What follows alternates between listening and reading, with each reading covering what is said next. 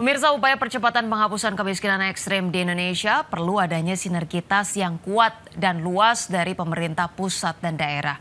Pasalnya dengan kolaborasi yang kuat, sederet program penanggulangan kemiskinan ekstrim bisa dijalankan dengan tepat sasaran.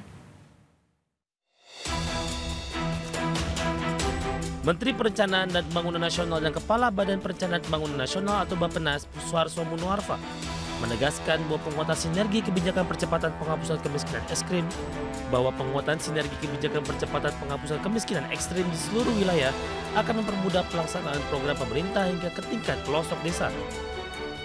Untuk itu, Kepala Bappenas berharap upaya kolaborasi dan sinergi pemerintah pusat dan pemerintah daerah terus dioptimalkan, di mana sesuai dengan instruksi Presiden nomor 4 tahun 2022, target mengurangi kemiskinan ekstrim hingga 0% di tahun 2024 ini bisa lebih cepat dicapai dengan tepat sasaran.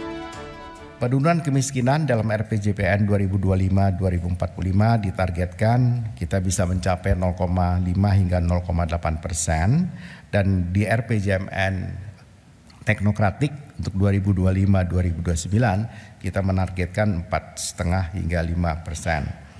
Dan eh, kami berharap dan seperti juga eh, telah digunakan khususnya oleh eh, Kementerian Keuangan dan juga Kementerian Dalam Negeri beberapa provinsi kabupaten eh, kota yang telah menggunakan eh, Reksosek registrasi eh, sosial eh, ekonomi menjadi eh, pendekatan dalam hal sasaran eh, program.